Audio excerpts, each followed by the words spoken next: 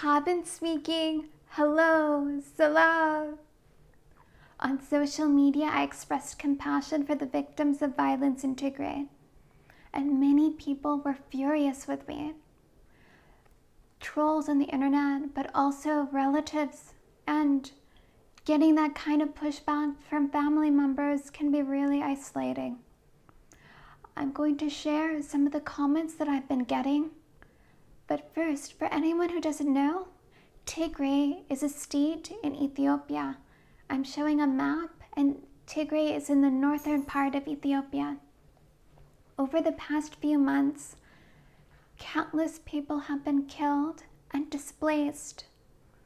People of different ethnicities and different nationalities.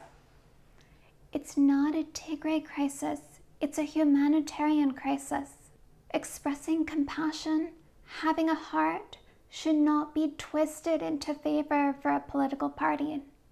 So, why are people telling me to be quiet? Let me count the ways. One, I'm being told that because I'm disabled, I should just focus on disability and inspire non disabled people. That is incredibly condescending. Disability rights are human rights. Disabled people are multidimensional and we engage in all kinds of conversations. Number two. Number two is mainly a photo that has been manipulated and twisted to something it's not. I'm a human rights lawyer based in the United States, and before the pandemic, I traveled around the world talking about disability rights. I was invited in 2014 to visit Ethiopia and speak to disability organizations and visit schools there. Here's a photo where I'm standing with Dr. Tedros, Ethiopia's Minister of Foreign Affairs in 2014. And now he heads the World Health Organization, leading the fight to end the pandemic. Dr. Tedros thanked me for talking to disabled students when I visited Ethiopia. And this photo is from 2020. Dr. Tedros is sitting in an armchair holding up my memoir, Haben, the deaf-blind woman who conquered Harvard Law. Dr. Tedros is a gentleman wearing glasses, gray hair. He is Ethiopian and has family in Tigray and many trolls are saying unkind things because his family is from Tigray. We should not be judging people based on where they're from, the color of their skin, their gender, or disability. Let's move past that. I'm going to share more comments that I've received on social media. She can't see the truth, and I don't know if she can hear it. Someone else is brainwashing her. My sight and hearing are terrible. My heart works just fine. I'm reading news articles. I'm getting information from news articles. No one is telling me what to say or do. There's this practice in our culture of dismissing disabled people because of our disabilities. That's ableist.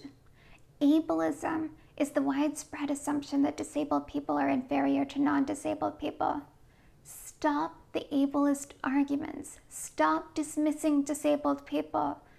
Here's another common comment I received. She must be got paid by TPLF to say such foolish. No one is paying me. No one was asking me to say these things. Stop twisting humanitarian messages into something they're not. Here's another one. You are not Eritrean anymore. I'm going to give a visual description for blind viewers because that's part of accessibility. I'm sitting in my living room, sitting on the sofa, plants behind me, I'm wearing a red dress. I'm a light skinned black woman. A lot of people outside of the Ethiopian Eritrean communities have trouble figuring out my ethnicity.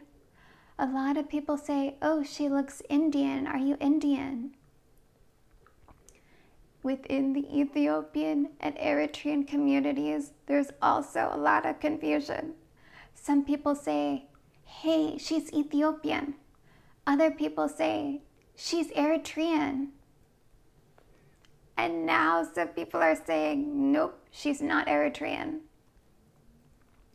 I was born and raised in the United States. First and foremost, I'm American. My mother was born in Eritrea. My father was born in Ethiopia. Here's another message I received. Wake up, Haben! Exclamation mark. Don't let this people fool you. They know nothing but lies. Three exclamation marks. This last one I want to share is from an Eritrean ambassador. He posted on Twitter maybe would be good that Haben is kindly approached by many of you, relatives and friends, and told the truth. Mr. Ambassador, I like that you use the word kindly.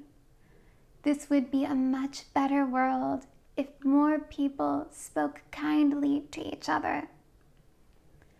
I have a voice. I'm committed to using my voice. Not everyone feels safe speaking up. A lot of people are struggling to survive. But if you do have the time and energy to speak up and you notice injustice, call out that injustice. No one asked me to make this video. It does take time to create this video and if you appreciate it, you could let me know by liking the video, subscribing to the channel, and dropping a comment. And if you're an activist also feeling isolated, I want you to know that I get it. I understand.